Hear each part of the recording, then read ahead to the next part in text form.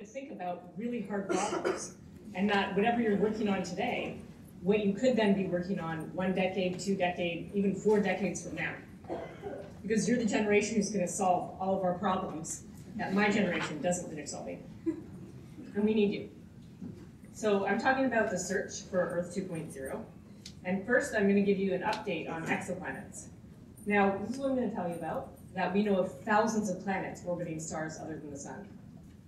And we actually have reason to believe that every star in our Milky Way galaxy has a planetary system. So the next time you go to a night sky and can see stars, even just out tonight, you'll be able to see at least two or three. You uh, you know, you can now wonder what kind of planets around those stars. And when I go out, I wonder what kind of planets are there, and maybe if there's any intelligent life there, looking back at our sun, our star, and wondering what's what's around us. So that's what I'm going to talk about. And what I'm going to start with actually is a movie. It's a little animation taken from this software called Eyes on Exoplanets. And this is something that each one of you, I actually urge you to download it and use it and show it to all your friends and just try it out. It's amazing. Now here, it shows you what we think our Milky Way galaxy looks like if we could view it from above. This part is just illustration, made up. But what the software quickly, quickly gets to is a real map of the sky, the real map of stars. And each of these highlighted objects is actually a star with a known exoplanet. So can you see the little white dots? it might be hard to see from back at the back, but there's some that are really bright. They're yellow, red, or blue, depending on the type of star. But each of the highlighted ones, you can actually click on it and see what kind of planet is there. Now what's really nice about the software as it zooms into Earth is it includes spacecraft, including heliocentric spacecraft, spacecraft that are orbiting our sun, in an Earth trailing orbit including um, Kepler and Spitzer space telescopes. It also shows EPOXI. It also shows the Voyagers. Now it zooms into Earth, and you can go anywhere on the planet. Here, it's the west coast of North America, and looking up at the spring night sky, here's what you would see. Well, not quite, because the constellations are overlaid. And the stars shown here are, you would need, you would need binoculars or a telescope to see them. But you can literally go anywhere on the Earth, as long as it's actually night at that time, because the software does operate in real time, and that would be like what you would see in the sky. And it even gives you an option to just see the ones that you could see with your naked eye in a dark site. So then it gives you the feeling of just how many planets are out there. Now in this case of this software, it shows us a very special patch of the sky. Does anyone know what this patch of the sky is with so many stars or planets? The Kepler Space Telescope looked at that one part of the sky for four years, and it found thousands of planets. The software also lets you dial in if you happen to know the name of a planet, this one is for Kepler 186. So it'll actually take you to where that star is in this real map of the sky.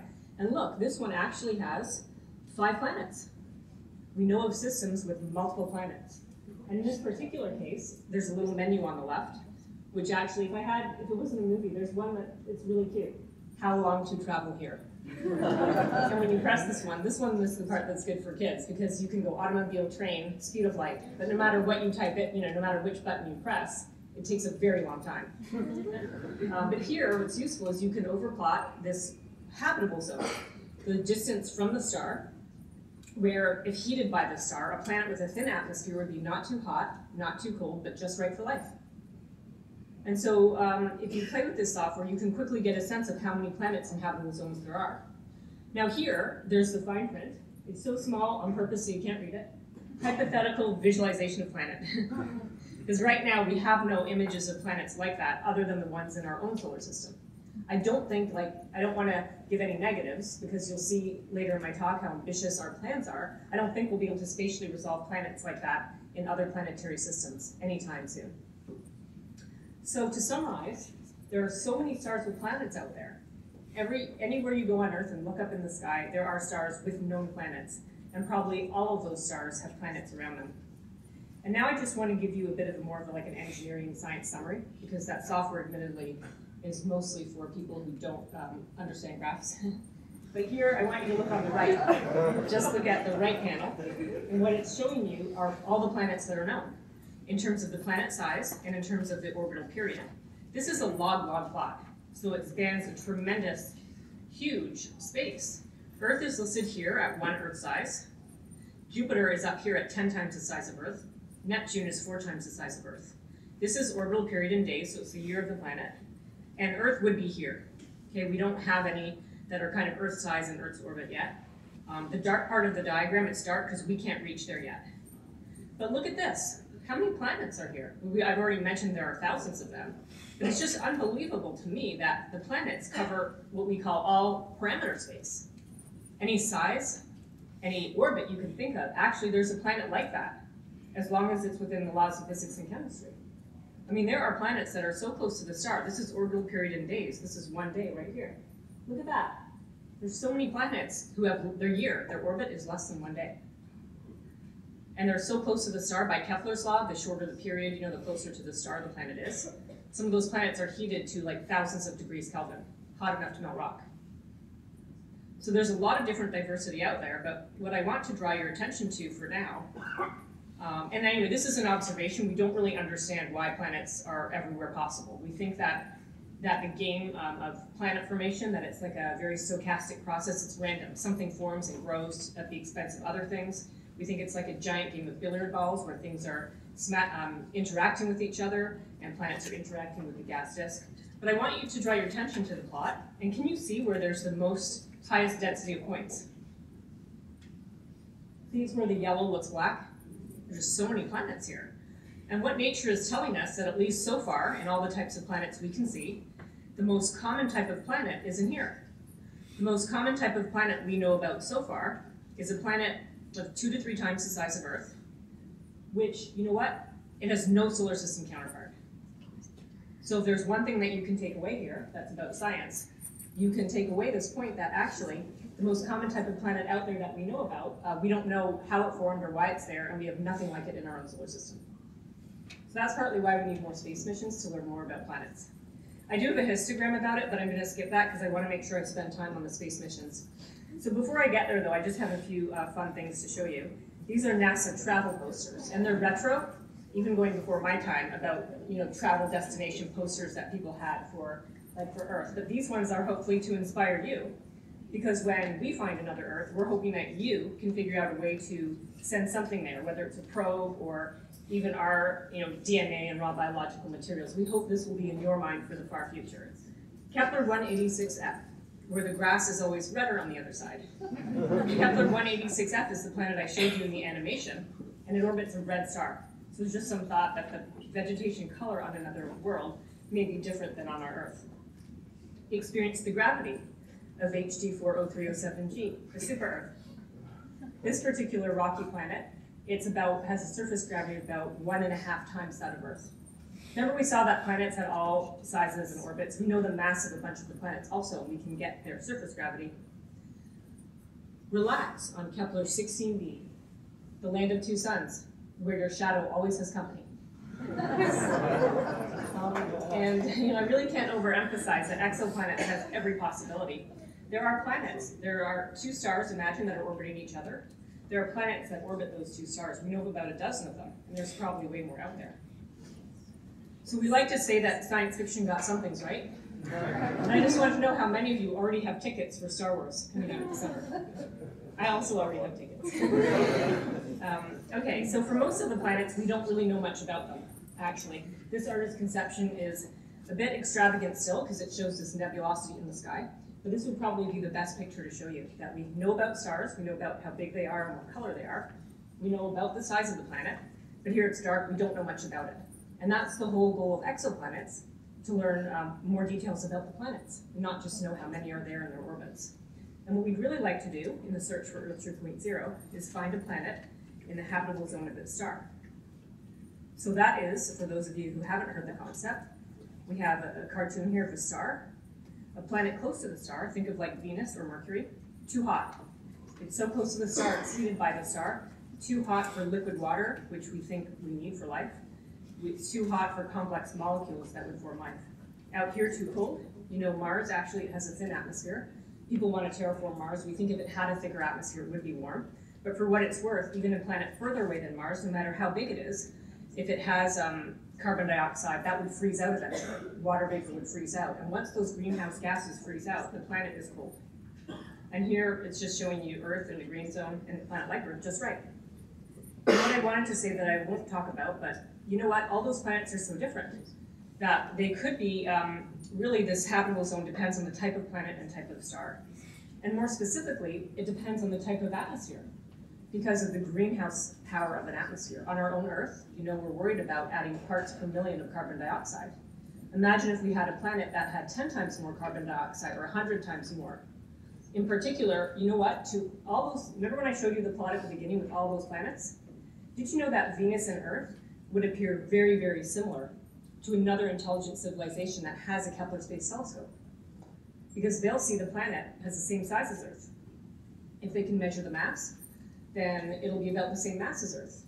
It's true it has a different orbit, but as regards to the habitable zone, they might put Venus and Earth both in their, in their so-called understanding of the habitable zone. So in order to make any progress at all, we need to get spectra. And in this picture, I'm showing you um, the solar spectrum. It's the spectrum of our sun. But it's that same concept, divide the light up into colors and look for missing lines that are due to absorption by gases. So actually, that's where the whole field of exoplanets needs to go to find Earth 2.0, is to be able to look at atmospheres and to look for gases in the atmosphere, carbon dioxide, um, water vapor, and even gases that might be produced by life, such as oxygen, methane, and we have a whole list of them. So science fiction got some things wrong, and this actually is um, this is actually Star Trek Enterprise. It's very kind of old-fashioned for for you probably, but think of all the science fiction that you know, books or movies. They all involve traveling to another planet, and I feel like science fiction got some things wrong because in Star Trek, the Enterprise would have to travel great distances and incredible speeds to actually go in orbit around another planet so that Spock here could actually look up to the planet and see if it was habitable and if there were life forms. And so I always wonder, like, the people who made the show, did they realize that um, we actually would have another way to study planets far away? Because we do. This is the real, a real photograph of the Hubble Space Telescope. I kind of think they might have figured that out, but it would be just too boring to have a show about astronomers working on their computers, downloading data from Hubble, trying to figure out what's going on because that's what we do. and It's not enough for a show, but I wanted you to know that we do have atmosphere measurements of planets, but not of Earth 2.0, so that's still in the future. Right now, this is just, I'm going to give you a two slide, very brief kind of taste of, of exoplanet atmospheres. What we do is we work with transiting planets that go in front of the star. And some of the planets, um, this is a cartoon, it's very exaggerated, but see this little blue part? It represents the planet atmosphere. And some of that starlight shines through the atmosphere. And just like shining a flashlight through a fog, some of the light won't make it through. And if you can actually look at that at wavelength by wavelength, you can actually end up reconstructing um, a spectrum like that colored one I showed you. So the planet goes in front of the star, the starlight shines through the atmosphere, and we actually can pick up some features in the planet atmosphere. And that's kind of something, if it resonates, you're interested, you can look more up it on your own. But it's an incredible field that I was very pleased to help start actually, this whole thing about planet atmospheres. And now we have data, and although I don't have time to explain the data in detail, I just wanted you to know we have real data. The black points are data. This is wavelength in microns, so here we're going from 0.2 to 1.6 microns. I'm not going to explain this, but this is these are points that if we had no spectrum, if there was no difference in the, um, if there was if there were no features in the spectrum, this would be a straight line we would just see that at all wavelengths, all light makes it through the atmosphere. But because there's some absorption at specific wavelengths, we actually can identify that there are some gases in this atmosphere. At least you can agree with me that this is different from a straight line. Okay? And in exoplanets, if our data is good enough to actually see a feature by eye from the back of the room, like that's good news for us. Because we went for years with no data, and with data that people would be sort of looking sideways and not, not sure if it was really anything. So that was kind of my update, um, my tour de force on exoplanets. There are thousands of them. We have some atmosphere measurements for maybe a few dozen. And now I'm going to turn to talk about two space missions. Um, but I don't have time really to put it into context, but there are, tons of space telescopes working on exoplanets. I just want you to know that some of them, like Hubble, only works for giant planets, big planets with hot atmospheres. We won't be able to actually um, use Hubble to study any kind of Earth 2.0. We have some stuff coming up that I'll talk about briefly. The TESS Space Telescope and James Webb Space Telescope. Those will work with small stars. Think like Earth's, Earth's cousin, a small planet orbiting a small red dwarf star. Now for the future, our first chance of finding Earths and the suns, that's what I'll talk about um, after I talk about TESS.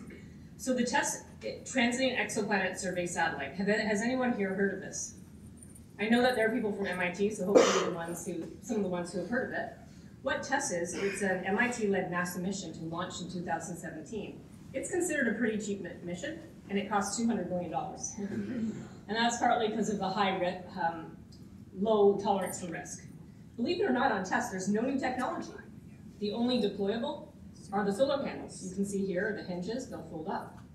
And what it is, it consists of four very specialized cameras. Think of a glorified telephoto lens. But they're very custom made. They're athermal. They have no vignetting or weird things going on in the actual image.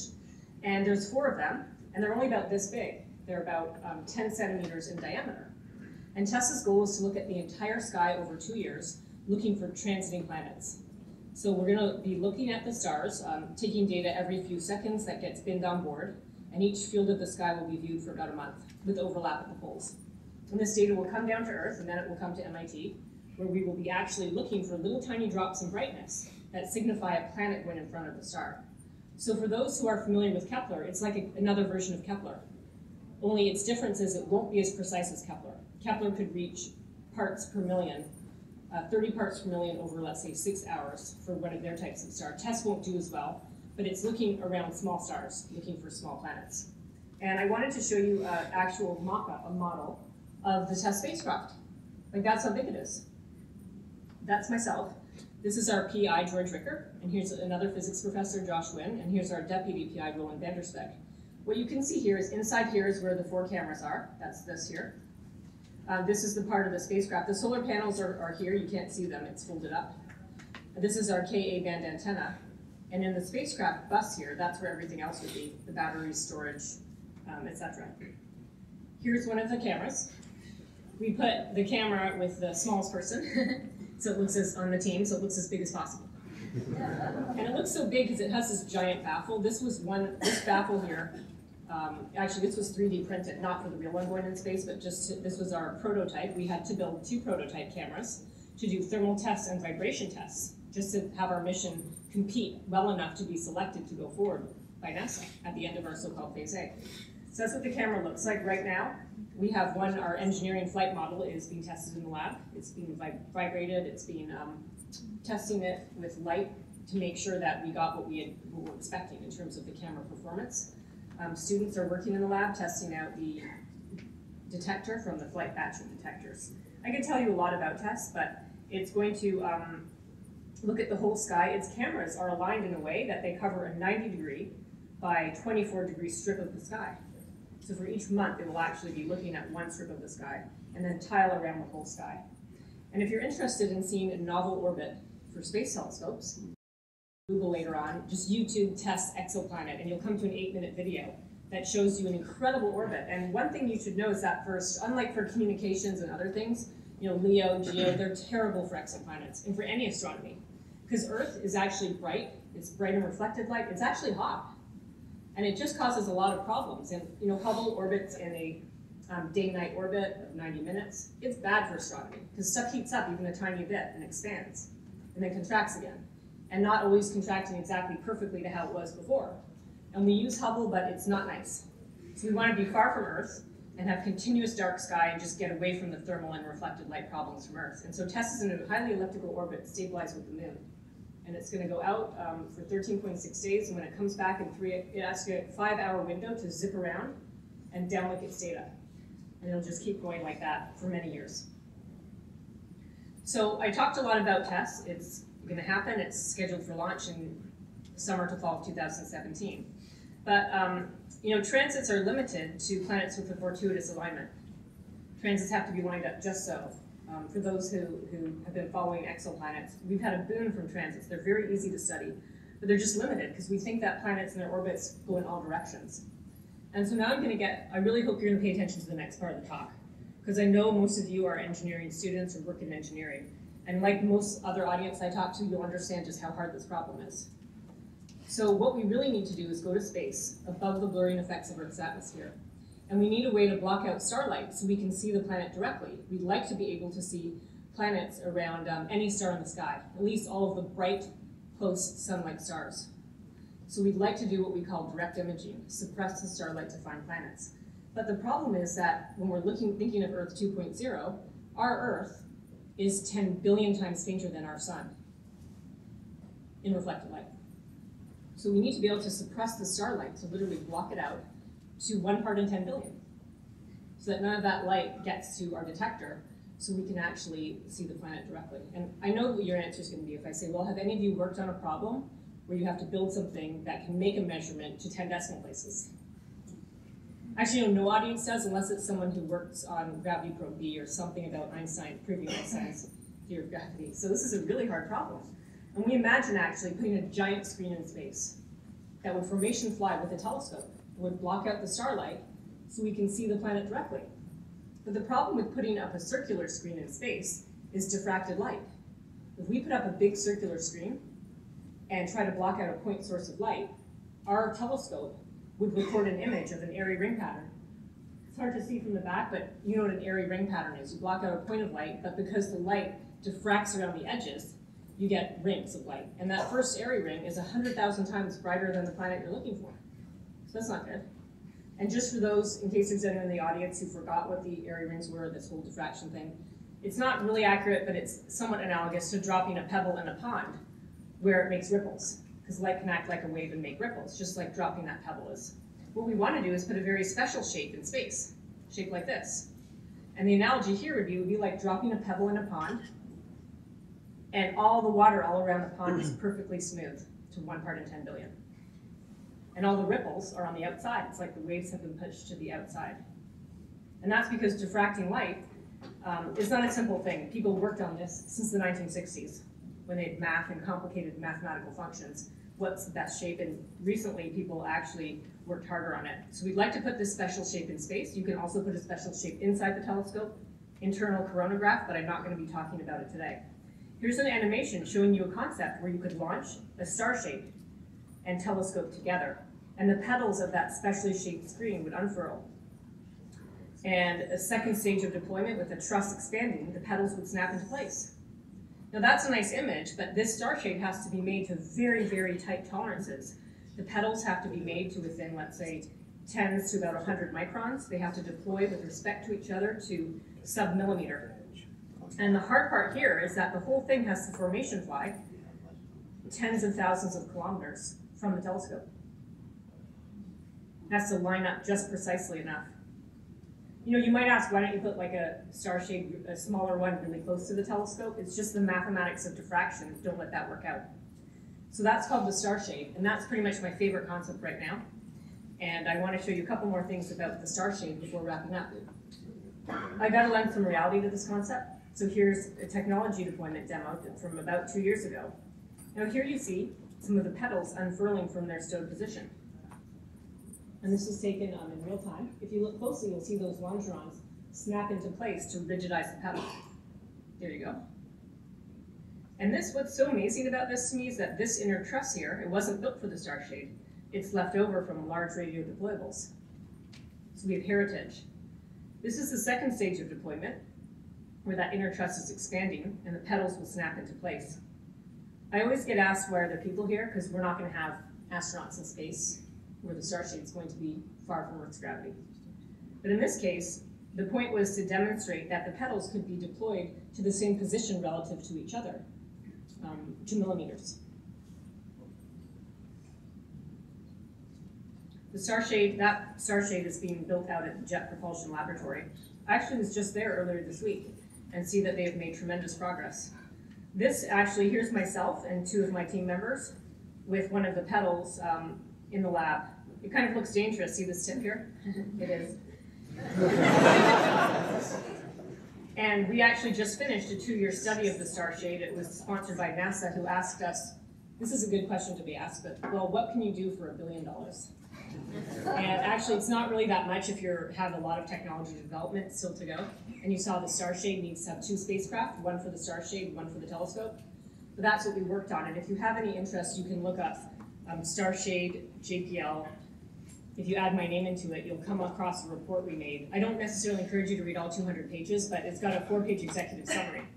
And you can get, get the details there.